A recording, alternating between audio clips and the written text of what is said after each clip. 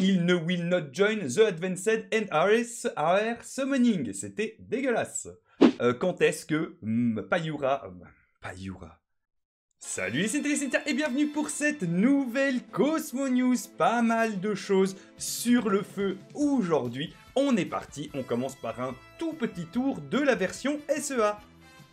Du Shijima en veux-tu, en voilà, puisqu'il va s'agir là aussi d'un rerun sur la globale, mais on y reviendra. La SEA a une bannière avec Shijima de la Vierge qui arrive. Ils auront bien entendu le Shijima Célébration, l'entraînement pour Shijima, un nouveau skin pour Pandore, le Winter Night Witch hein, que l'on a déjà, Flower Gacha Machine et la Hades Party Open. Voilà pour la SEA, c'est toujours très très rapide. On commence par parler de l'anniversaire des 1 an et demi du jeu, et oui, ils nous ont réservé quelques cadeaux. Le premier, eh bien, c'est à partir du 11 mars, c'est-à-dire de jeudi, et jusqu'au 16 mars, nous aurons une multi gratuite par jour. Ce sera des invocations avancées, pas les invocations Temet, c'est-à-dire pas les invocations sur la bannière actuelle, mais c'est déjà sympa, ça fait quand même 60 petits poules gratos, ça on prend. Deuxième annonce pour l'anniversaire, eh bien c'est le reset des coupons, des doubles coupons. Il a été confirmé dans la mise à jour de demain. Donc voilà, vous aurez un- une fois chaque pack de coupons à moitié prix si vous le souhaitez. Rien à voir avec l'anniversaire, mais bel et bien avec la journée de la femme qui avait lieu hier. Il y a un code que vous pouvez entrer sur le site GT Arcade qui est Woman Day. Je vous l'affiche ici, ici. Euh, je ne suis pas sûr qu'il fonctionne encore aujourd'hui. Est-ce que c'était exclusivement hier? Eh bien, euh, je vous invite à essayer tout simplement Woman Day pour quelques récompenses. Des fleurs notamment, pas de quoi casser trois pattes à un canard, mais c'est cadeau. On attaque le vif du sujet avec les nouveautés du patch de demain. Nous aurons un rerun de Shijima de la Vierge. Attention cependant, malgré le fait que ce soit un rerun, il n'entrera pas dans les poules de base après cette série.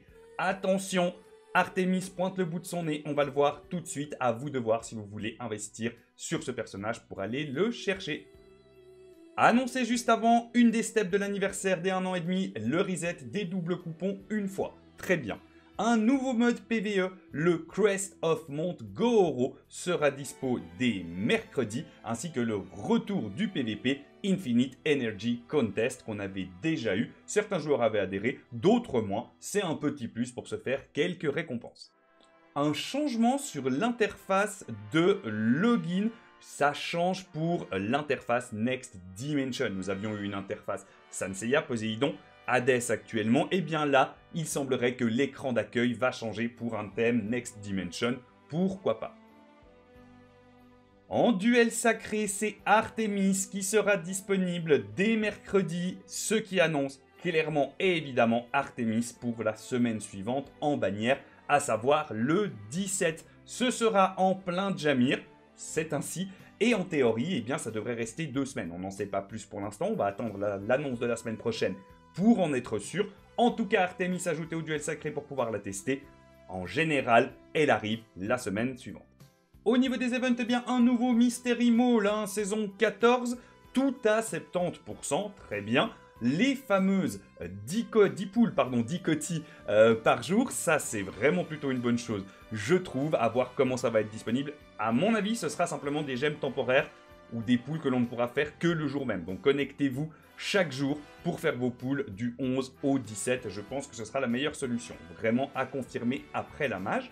Le reset des doubles coupons, ils nous le redisent une fois. Et un return de la célébration Next Dimension. Donc Next Dimension Celebration Return, sûrement un petit event pour se faire des récompenses. Les points suivants sont plutôt intéressants parce que personnellement je ne pensais vraiment pas que ça allait arriver si vite sur la version globale. Il s'agit de up, de modification de personnages. Pas de RC, attention, les deux personnages dont nous allons parler, c'est-à-dire Aldébaran et Yoga, Godclaw- euh, Yoga Pog, pardon, auront ces up dès la fin de la maintenance mercredi, si tout se passe bien. Premier personnage, c'est Aldébaran. Son coup blanc, son style N va augmenter sa défense P et C. Les pourcentages ne sont pas précisés dans l'annonce. Le grand, le Great Horn, le Giant Horn, eh bien, lorsque vous allez utiliser ce skill, c'est-à-dire son skill à deux, hein, où il se charge, qui se lance le tour suivant, sauf si vous faites un double tour, eh bien il va se rajouter un bouclier qui équivaut à 25% de CPV max qui va rester deux tours. Il va bien sûr rajouter une marque sur la cible qu'il a décidé et la marque ne sera plus visible par l'ennemi. Ça, c'est plutôt un bon point. On ne sait pas qui Aldébaran va focus. Si le skill est interrompu, Aldébaran va regagner 30% de ses HP max.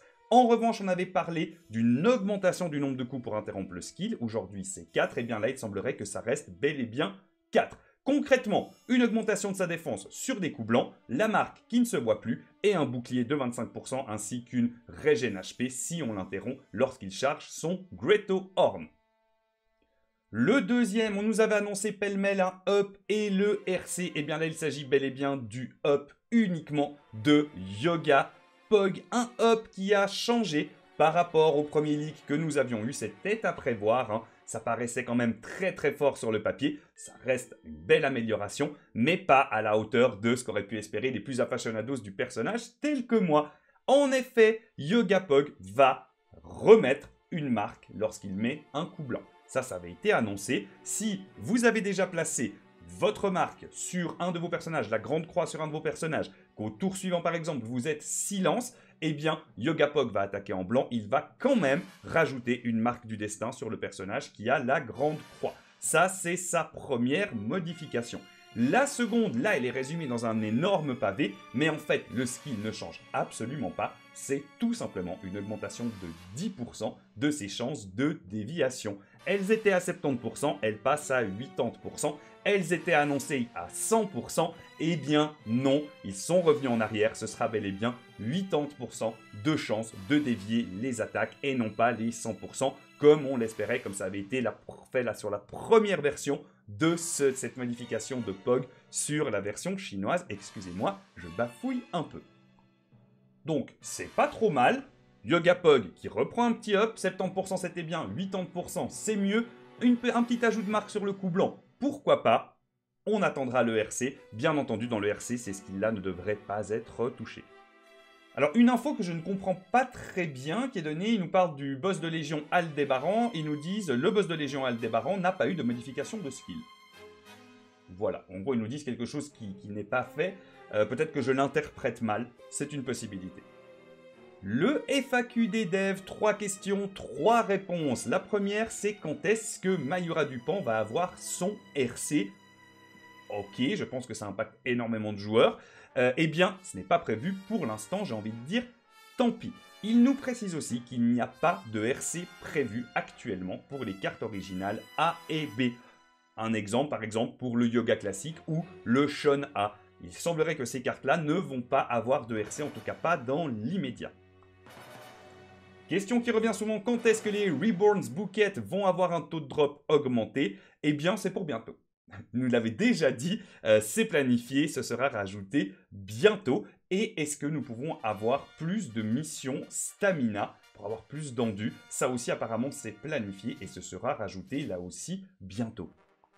Voilà pour cette Cosmo News, on retient vraiment les points essentiels, les 60 poules gratos, le hop de Yogapog notamment et d'Aldébaran, l'ajout d'Artemis en duel sacré, ce qui annonce clairement sa bannière, et j'espère que vous avez passé un bon moment. Si c'est le cas, n'hésitez pas à lâcher un petit like, vous abonner ou partager la vidéo. Et nous on se retrouve bien sûr mercredi soir 20h30 pour le live Sanseiya Awakening. Prenez soin de vous, prenez soin des autres et à tout bientôt. Ciao